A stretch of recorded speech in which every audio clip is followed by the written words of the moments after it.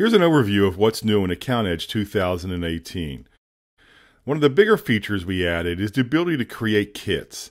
A kit is a great way to add multiple items onto an invoice.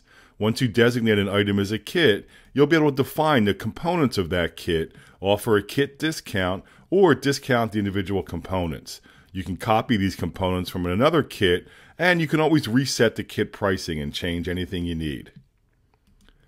We've also made more windows scalable in AccountEdge, so as you're using windows like your prepare time billing invoice, you can now scale these windows like this. This is for the Mac and Windows. On the Windows platform, we also made all of our register windows, like the sales register, purchases register, bank register, etc. Those are also scalable and sortable. You can now search in the accounts list by using the search by options, where you can search by name or number, starts with or contains, making it easier to find an account when you're in the accounts list. You can do the same thing when you're recording an entry and you need to select a GL account, where you can search by account name or number, starts with or contains, making it easier to find your accounts when you actually need them. If you ever needed to send an email to a customer without jumping through hoops, you can do that now. Let's look at Acme Sales. Now you'll see next to their email field a little blue icon, an envelope, allowing you to actually create an email using one of the email templates we implemented last year. If you're using AccountEdge Network Edition, the sales and purchases registers, as well as the item register, are way faster than they used to be. We think you'll love that.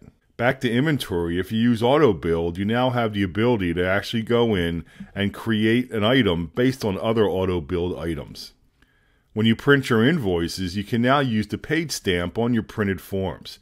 So if we show you an existing form, we've actually customized this one and we added the paid stamp to it. So now if the invoice is paid, you can actually put that paid stamp directly on your printed or emailed invoices. You can also search your contact list using the same filters that we've added to other places in AccountEdge, now using the search by using any of these fields and starts with or contains. Same thing with accounts when you go to create a transaction using those lists.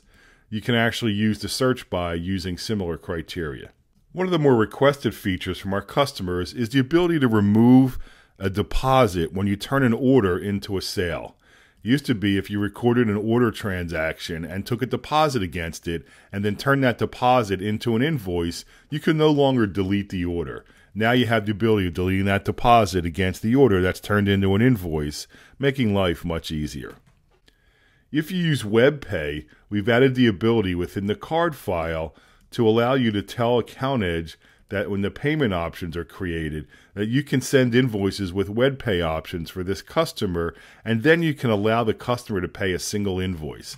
So in this case, your customer would not need a WebPay account. They could just simply pay the single invoice that you send them with the Pay Now button.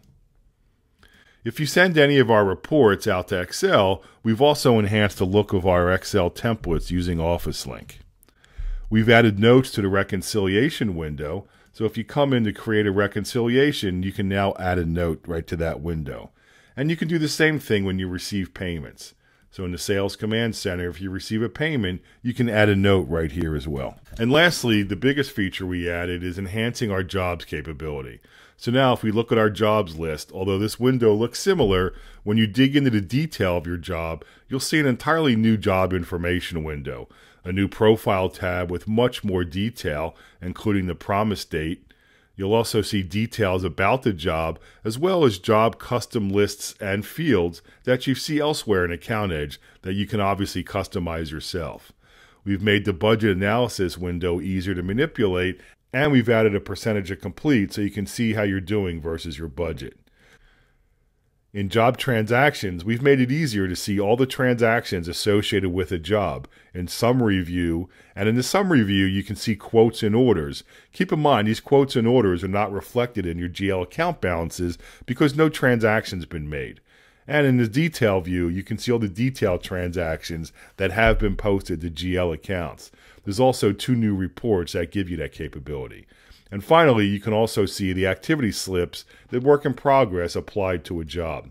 So there's lots to like about AccountEdge. There's other things you want to visit on our website to get more details about, but we think this year's version of AccountEdge is a real winner. We hope you upgrade or consider using AccountEdge to run your business because we think it's a solid desktop accounting app with web companion tools that can help you manage your business from anywhere.